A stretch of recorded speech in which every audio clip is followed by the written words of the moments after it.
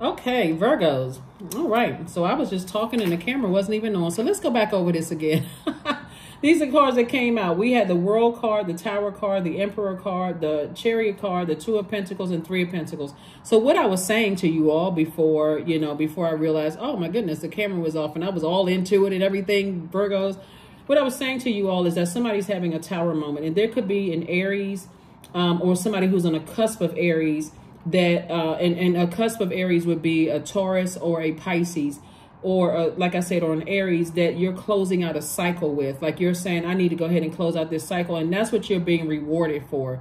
You're being rewarded for from source. Now I'm putting all of my energy, my fire into my purpose closing out cycles could mean a lot of different things, right? It could be like the negotiation of an agreement, right? So now that I've evolved to this and you've evolved into that person, let's sit down and renegotiate. Or it can be a, a complete, I'm cutting you off. Whatever it is, renegotiating or cutting off, you're not the same person. And so now, because if you want access to my universe, this is what I need from you because that moon right now is in Cancer moving into Leo. And so moving into Leo, we're not talking about any cancers or any Leos that you're talking that you that, that you know. This card right here is uh, Cancer's card right here. When you when the moon is in Cancer, as you're feeling it right now, if you're watching this on uh, Sunday, your primary concern is security. There's this deep instinct to nurture and protect yourself first and foremost before anybody else when the moon is in Cancer. So what you're saying, and, and so not only that, when the moon moves into Leo, you seek an active flow of praise and love from others. That's not being conceited or uh, we're talking about healthy, right? Meaning that you're going to acknowledge all the good, the sacrifices that I made to give you access to my universe. Doesn't matter if it, who it is, family members, friendships, whomever. You're going to acknowledge that because I'm not going to keep on just giving, giving, giving. And I'm getting all this acknowledgement and praise from complete strangers, but I can't even get it from my spouse or my uh, family members or people that have access to my universe. People outside of my universe are giving me praise and, and adoration to things. Great job, this, that, and the other. I can I can see the greatness in you and all of this. But people who have access to your universe, you putting everybody on notice everybody is on notice as of now. I'm not worried about being liked. I'm worried. I'm, I'm concerned with my respect. So that's what I'm seeing for you all. So kudos and congratulations to you. I'm serious. Congratulations. And I'm talking to you if you have Virgo anywhere in your birth chart. So and because I have Virgo on my birth chart, I'm talking to me too. So that's that's the, the primary focus for somebody is like I would rather be respected than liked. If like means you can disrespect me and not nurture me and and give me some positive feedback of how I've made, uh, you know, my efforts in your universe and I've made you feel nurtured, protected, and secure, and you can't acknowledge that, then, then, you know, so that's what you're being rewarded for. Somebody's uh, recognizing several things. You're not, we're not, we're not each other's gods, right? We're not.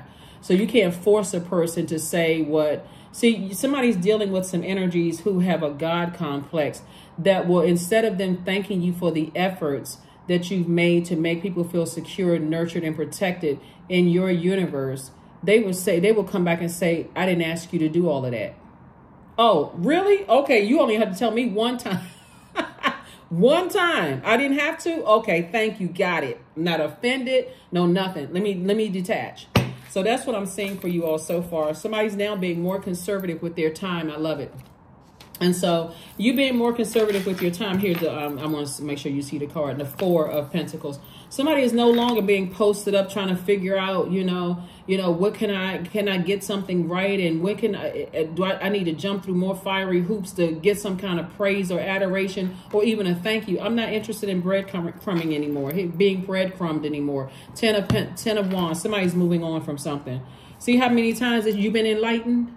One, two, three. Somebody has been enlightened that many times. Enlightenment could look like somebody blowtorching you, telling you you ain't need to do all of that. They're telling you that, you know, or some kind of an awakening has happened. And so now we had to have a tower moment.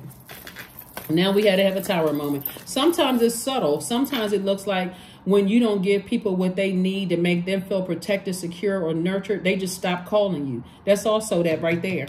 They just stop calling you. They don't reach out to you. They're not checking on you to see how you're doing. They waiting for you to call them back and you say, well, I was thinking about you. I just wonder, well, I was thinking about you too. But they never picked up the phone to call. Yeah, they somebody somebody is upset about something. And again, you being less and less, you're investing less and less time into, you know, somebody's attitude.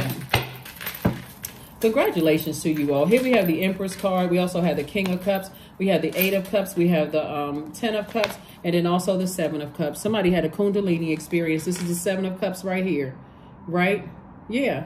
When people not get what they want, Source already showed you.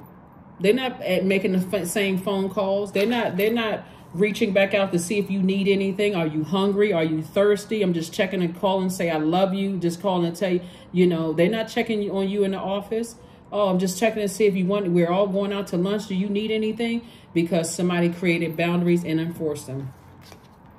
Ten of Cups. And now look at you and your inner child. Y'all feel so protected and at peace. You and your inner child just spinning around, you know, under a rainbow. So here we have the Empress card. So I do see somebody going through a, uh, a rebirth here of abundance and prosperity. And again, this is really about balancing things out. Here we have the um, King of Cups and also the Eight of Cups. So somebody has definitely some things into a burning bowl and moving forward. So there's nothing, I mean, because we're not, we're not robots. Everybody has emotions and feelings. It is kind of, you know, it, it, it can kind of bruise your emotions, like bruise your, you know, a little bit where you like, wow, you know what, this is the thanks that I get. Sometimes it's like that. But somebody is like, you know what? I'm wise enough to know that when I feel when I feel like I need some extra nurturing, I'm going to go do what nurtures me. Sometimes it looks like going to a beach. Sometimes it looks like going roller skating. Sometimes it looks like going to buy yourself some ice cream. Whatever it looks like for you, Source is saying you poured out a lot of creativity, creative ideas. You poured out a lot, and so somebody is somebody is moving on. Somebody could possibly be moving south of wherever you live right now. Somebody could be like moving south of something, right? Where you're like, okay, um, so whatever you're doing, congratulations, congratulations, congratulations to you, congratulations. So somebody is definitely um, moving on from something, packed up and moving on from something. So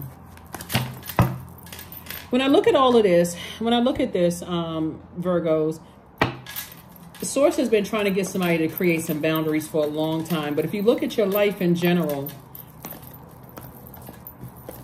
either somebody has been um, somebody has been really lax in their rules in both their personal and their professional life. And so source had to allow some things to happen for you to get real serious about your purpose and thus saying, I need to create some rules, um, some traditions here. I need to get real serious about um, enforcing those rules. Um, or, yeah, that was it. Here we have coexist. We have the um, the Queen of Wands, the Four of Cups, the God card. Like I said, somebody had a God complex. We have the um, Seven of Pentacles and also the Wisdom card. Mm-hmm. Somebody definitely had somebody. Some people definitely had a some some people are having a tower moment. Some things are happening. See, these energies right here, the, the, the energies that having, somebody's having a tower moment. These energies, these people with the God complex, they use everybody as pawns. Everybody. They don't care. They don't, they don't really have any, they see everybody as their subjects. You know, like I always say that we, we are not each other's gods, right? I'm not your God. I'm just delivering a message here, but I'm not anybody's God. So I say, you know, take what resonates with you. If it doesn't resonate, that's okay. If it resonates, great. If it doesn't, okay you know, um, because this is a general reading. But there are some people who will try to berate you and really make you feel bad if they cannot manipulate and control you, control your emotions, control your finances, control your thoughts, control your ideas. They really feel like in their mind that they are the God of your universe. And so that's where some people are being brought all the way down to the lowest frequency to, in order for them to cry out to source, right? And so source is saying, and you have a great amount, a great deal of wisdom as to how all of this works. And so here we have the coexist. Those energies absolutely would want you to coexist with their foolery, right? But you're not interested in coexisting with people who have a God complex. Because there's no humility in that. There's just like they they have to constantly being you know struck by lightning because of this stubborn behavior before there's this outburst you know. You don't know what mood you're gonna catch them in. You don't know what the what's behind the, the moodiness you don't know what's behind the the blowtorch one minute somebody warming up to you the next minute they're going off on you.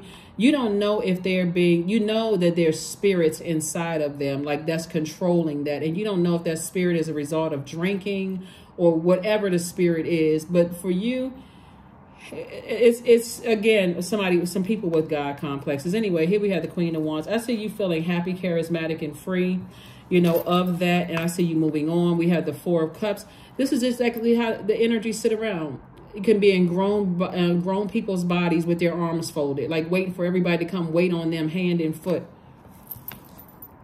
But you moved on. Here we have the Seven of Pentacles. I see somebody saying, you know, it's harvest time for you all, first and foremost, because whatever it is that you're walking away from, and it, it has to do with your creativity and your emotions and money. That's what somebody, that's why somebody's walking away. When I say money, I'm talking about stability, security, your patience, your tenacity, your career success, your um, your prosperity. All of those are going to increase because you're balancing out, releasing them and their energy off of your scale. So you're going to see start seeing more of your money. That's why I said it's harvest time for you all Virgos because you know, some people delusional.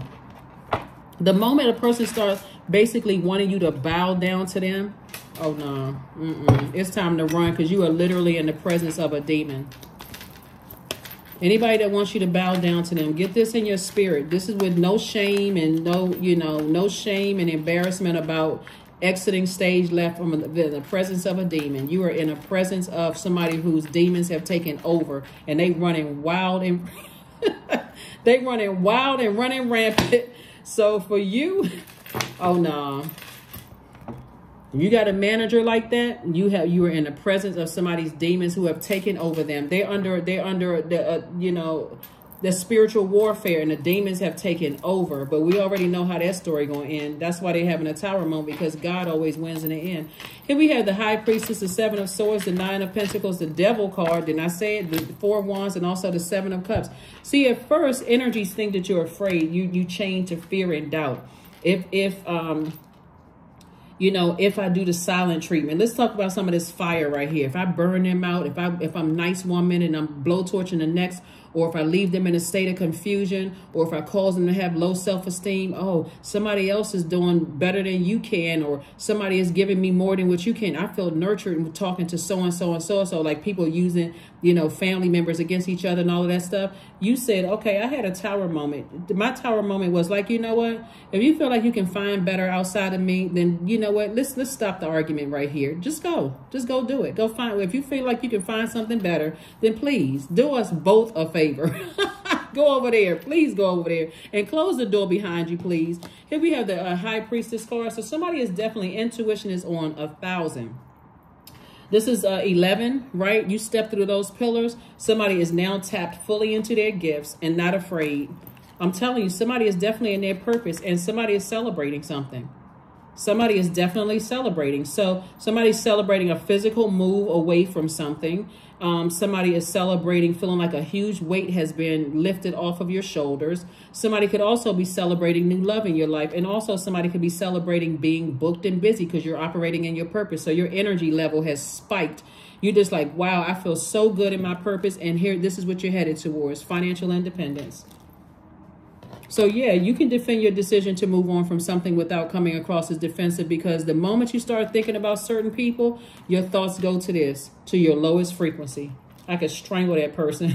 That's what somebody can look like. This, I mean, like literally, when you get to that point, when you feel like, okay, I'm having some real dark thoughts about some people, it's time to detach or when I'm starting to go back, when I step down off of my throne and I'm starting to go back to, you know, some of the old eating habits or some of the old ways and stuff because emotionally I don't feel like my spirit is fed. So I'm going back to, I said I was going to stop eating cake or sweets or, you know, having sugary drinks and stuff like that. And I'm going back to that. And that's just on the light side of some things. Somebody may have started going back clubbing again or whatever it is you're doing um, like I said, there's no judgment over here. My point to you is that something that you said, okay, I, I, delivered myself from. I'm going back into that. I'm now spending my money on getting back into some things because I've been emotionally manipulated.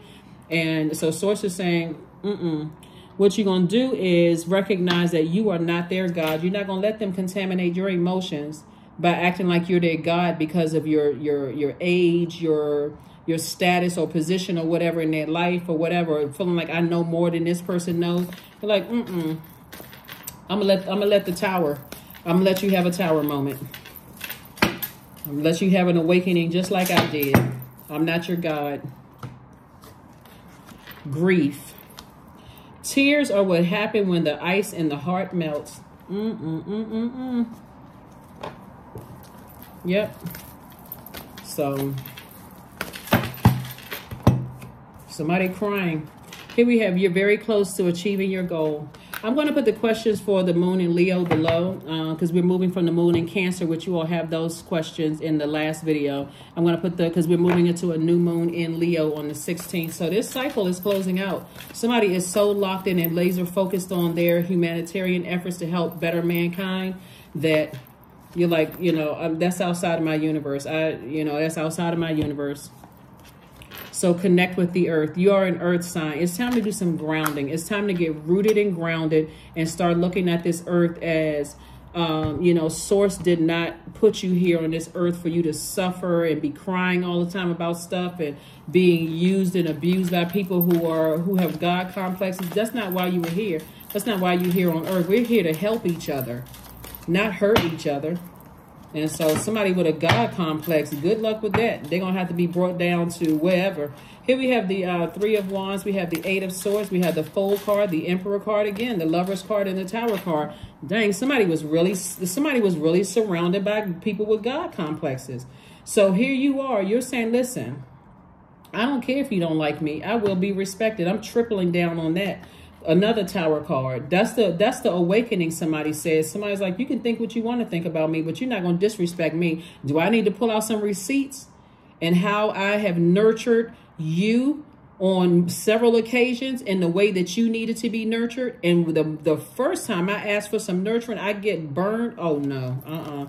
In a state of confusion you don't know what's going on. So somebody said i don't i'm not overthinking this anymore. That's self-sabotage. I'm not overthinking this so somebody is doing this, loving up on themselves, right? Somebody is saying, you know what, this is about, this card is about partnerships, right? So that's what you're sending out into the universe. You're sending messages out into the universe that I want energies that keep me motivated. You know, I have mental clarity, whether it's in business or in love. I have mental clarity. I feel inspired. I feel motivated. I have, um, I feel empowered in these relationships, whether again, whether it's personal or professional those are the kind of relationships I want. I don't want to be, you know, connected to a mess. Here we have the um, fool card. Somebody doesn't feel like a fool. Somebody actually feels liberated, changed, and free, actually. So here we have the three of wands here. So like I said before, this is wonderful because source is saying this expansion all around. You see how this person right here, you can see they're kind of on the edge, but they're looking over a lot of water, right? They're looking over a lot of things that they can be happy. Like somebody's thinking about, I'm going traveling I'm, I'm getting ready to meet some new people. I'm starting businesses. I'm doing all kinds of things. That's why you see right here with the Two of Pentacles, sources and an additional stream of income because a lot of wonderful things are coming, are happening as a result of somebody tripling down and saying, no, I'm not coexisting with people who have a God complex. I don't care what your title position is, how much money you have. I'm not coexisting with that mess. I don't want to be contaminated by that. I'm not your God. And listen, these are this is these are the rules if you want access to my universe, and I'm not infer, I'm not afraid to enforce them. That's what I'm saying for you all. So kudos and congratulations to you. So some people got some wake up calls. They got some wake up calls. And you like this person right here, are smelling the roses. You out here self-love. We talking about the color pink right here and that color pink right here. That color yellow right here. Green is growth all around you. Somebody feels liberated and free as the air. You know, somebody is just like, somebody's giving off a different scent. Somebody's giving off the scent of self-love and empowerment. That's the smell that you're giving off now of the, the scent of empowerment, self-love, freedom, growth all around you. That's what somebody that's what somebody feels like now. Like like, you know, if I'm giving off any kind of a scent, it's not a fear and doubt and what you gonna say about me behind my back. I'm giving off the scent of freedom. Freedom. Yes, that's what somebody's saying. I feel free. I feel liberated. I feel like a changed person. So, sacred waters, 35. Drunken by the swell of the sea, I can feel the blanket of her embrace, unafraid of the presence, releasing the cords. I call her and I call her deeply within. So when I tell you that somebody's doing some cord cutting ceremonies in their house, and some burning bowl ceremonies and then going outside to do some grounding or grounding in your living room or wherever you're grounding. I see somebody feeling liberated. This is wonderful, Virgos. This is absolutely wonderful. That's the whole purpose of somebody having gone through this is because somebody just, you know, you maybe maybe it was a fear of creating some firm boundaries or something, but uh, you know, but here we have 555. I am optimistic. That's why you have these three um, emperor cards up here. That's right. I'm optimistic moving forward. I am not going backwards. The number five means a pivotal point in your life, right? So I'm not going back to caring about what people think I would. I'm going to sacrifice my respect and dignity just so you can like me. That person is gone. Remember when the moon was in Aries? A moon in Aries is about burning your former self and your your your old world beliefs, right? So you are not that person anymore that if if I would rather sacrifice my dignity and self-respect or being respected um, for you to like me, that person is gone. That went out, that went, that burned up in the burning bowl. so I toss all of that into the burning bowl. That's how laser focused you are. So a major shift is about to come into your, your life experience, Virgo, and change your past direction. So be open and stay positive. That's right. I am optimistic. So if you're grieving anything, you're saying bye-bye to the old person. That's what you're grieving. And but you're not gonna be grieving for long. Bye-bye old person. Hello, new person. I'm about to Woo! I love it. All right, Virgos. Mm, mm, mm, mm, mm. Woo, I am happy for you guys. I am so happy for you all. I'm serious. Um, where's it? Let me see. Last card here. Last card here. See, that's how, see, when you look at this, Virgos, you can see how people really take your kindness for weakness. You can really see how, like, you can go along with the flow as much as you want to. And some people see it as like, wow, you know, uh, Virgos are highly adaptable. Let me hurry up and get my stuff together because I don't know how long this is going to go on. So let me see what they need. Let me see how I can nurture, uh, nurture um, Virgos, right? But when these moon, when this moon moves through these zodiac signs, and when it hits Leo, this is about. I need some positive feedback here. I need some positive feedback about how you know some appreciation here, right? And so be grateful for this moon moving through these zodiac signs because you definitely have been dealing with some people with a God complex. Like what? So kindness i actually pulled out two. Okay so you got two affirmations. Affirmation for kindness and affirmations for peace. First one I am full of loving kindness, period. I am full of goodwill toward those around me. I am surrounded by warmth. I embrace all wholehearted kindness. I'm grateful for generosity shared by others. My smile could make someone's day. I allow the kindness in my heart to run free. And then affirmations for peace. Waves of peace are washing over my body. See, they don't understand how much at peace you are at this moment, right? You're you're so at peace. If you can if you could be any more at peace, oh my God. Here we have, I find stillness in the eye of the storm. I am stronger than my circumstances. I release all feelings of anxiety. I am free from overwhelm. Today I smile because I'm alive. I am blessed to be here now. All is well and I'm healing. So that is what I have for you. That is what I have for you, Virgos. Like I said, um, keep winning. I mean, for real, like keep keep um, planting those seeds that you want to grow. Everything is perfectly aligned for you. And again, somebody just had to come out of that mindset that I'm going to sacrifice my my dignity and self-respect for to be liked by family members and friends and people at my job and all of this other stuff. No, you will respect me. Or guess what? You have zero access to my, my universe. You can tell whomever, whatever. That's what I'm saying for you all, Virgos. And I will see you all on midweek Wednesday. Bye.